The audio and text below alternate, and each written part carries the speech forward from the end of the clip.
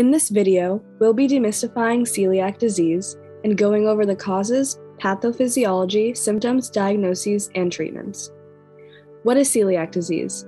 It is a chronic autoimmune condition where exposure to gluten causes an immune response, leading to inflammation in the small intestine, damaging the villi lining it, and preventing proper nutrient absorption. It is estimated to affect every 1 in 100 people worldwide. What exactly is gluten? It's a protein found in wheat, rye, and barley, and is made up of two proteins known as gliadin and glutenin, with gliadin being the main cause for inflammation. Gluten can be found in most baked goods, pasta, bread, beer, some processed foods, and medications. Celiac disease is typically introduced in childhood, but can develop as an adult after eating foods or taking medicine containing gluten. Early diagnosis can lower chances of developing other conditions such as type 1 diabetes, thyroid disease, anemia, or infertility. It's mainly caused by a genetic predisposition. In fact, people with a parent child or sibling with celiac disease possess a 1 in 10 risk. The DQ2 and DQ8 gene alleles predispose a person to celiac, and around 1% of people with at least one of these two gene copies will develop the disease. Experts believe that experiencing a higher number of digestive tract infections early in life may increase the likelihood of developing celiac disease. Much is still unknown about possible environmental causes. Small intestine is the organ that is most directly involved in celiac disease.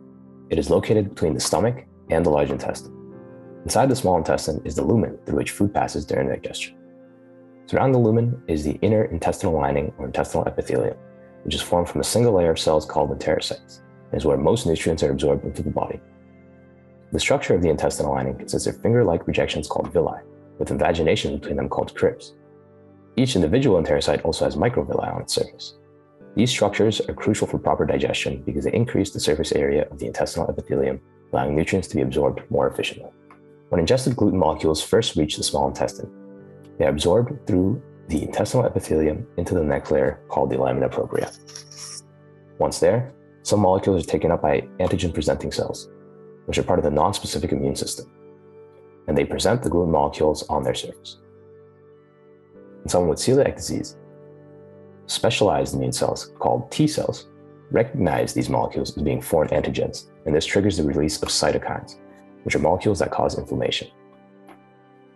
These T cells then stimulate another type of specialized immune cell called B cells, which then release autoantibodies that attack the recognized gluten antigen, leading to further inflammation. Prolonged inflammation eventually results in damage to the small intestinal lining in the form of flattened villi and cell death among enterocytes. The reduced surface area of the intestinal lining and the destruction of its epithelial cells subsequently leads to the malabsorption of nutrients by the small intestine. Due to the inflammation and damage in the small intestine, some intestinal symptoms such as stomach pain, bloating, and diarrhea can occur. The malabsorption of nutrients can also lead to more general symptoms such as fatigue and weight loss, as well as anemia due to iron deficiency and osteoporosis due to reduced calcium and vitamin D in circulation. However, there are also many people with milder forms of the disease who are entirely asymptomatic. A few diagnostic stages must be completed to verify celiac disease. First, a doctor will perform a physical examination. They will check for signs of weight loss and growth problems that may arise from malnutrition or malabsorption caused by untreated celiac disease. They will also check the abdomen for pain and swelling around the small intestine. One very common sign of celiac disease is a red, itchy rash called dermatitis herpetiformis. This is another allergic reaction towards gluten that manifests in the skin rather than the intestinal tract. The rash presents on the elbows, knees, back, and scalp, and about 10 to 20% of adults with celiac exhibit this rash, sometimes as their only symptom. After a physical assessment, doctors will conduct some informative tests to determine the likelihood of whether celiac is truly the cause of their patient's symptoms. One necessary procedure is a serologic test. This type of test examines the presence and concentration of relevant antibodies in a patient's blood. High levels of specific antibodies may indicate an extreme sensitivity to gluten antigens. Examples of such antigens include the gliadin protein and an enzyme called tissue transglutamase that modifies gliadin in a way that enhances the body's immunological reactivity to the protein. It is possible for patients with other autoimmune disorders to have significant levels of these same antibodies. Therefore, high antibody concentration alone is not enough to diagnose the disorder, but gives probable cause for further examination.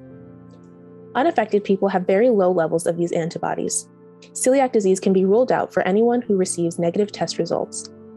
It is important to note that serologic testing must be done while the patient is still on a gluten containing diet. The test evaluates the body's reaction to the presence of gluten. Therefore, gluten must be consumed and available in the body leading up to and at the time of testing. Another option is genetic testing. These tests look for the genes that predispose a person to celiac. DNA is collected from a cheek swab or blood sample and is analyzed for the celiac related genetic markers. If the DQ2 and DQ8 genes are not present, the possibility of having celiac disease is very unlikely and can be ruled out. Like positive serologic tests, the presence of these genetic markers is not enough to definitively diagnose celiac, but does merit further testing. To confirm the suspected diagnosis, the state of the intestinal lining must be examined via a gastrointestinal endoscopy. In this procedure, an endoscope, which is a long flexible tube equipped with a camera, is inserted into the mouth and down the length of the gastrointestinal tract until it reaches the first portion of the small intestine called the duodenum. Doctors then will pass a special instrument through the endoscope to take a small piece of tissue, called a biopsy, from the duodenum to examine more closely. A pathologist will analyze the tissue sample under a microscope for signs of celiac disease. They will either see healthy, long villi or flattened, damaged villi consistent with celiac disease. When multiple biopsies show consistently abnormal results, a doctor can confidently diagnose his or her patient with celiac disease. The best and most effective way to treat celiac disease is to eliminate the ingestion of gluten. Ceasing all consumption of gluten allows the small intestine to heal from previous damage, often returning to normal. A gluten free diet completely avoids the gluten containing grains. Many celiac patients work with specialized dietitians to create healthy, balanced, gluten free diets. Patients should also pay attention to the non food items they come in contact with that secretly contain gluten. These items include herbal, vitamin, and mineral supplements, some prescription and over the counter medications, as well as some cosmetics and hygienic products. By being mindful and cautious about what they eat and interact with, people with celiac disease can recover from their symptoms very quickly and continue to live a healthy life.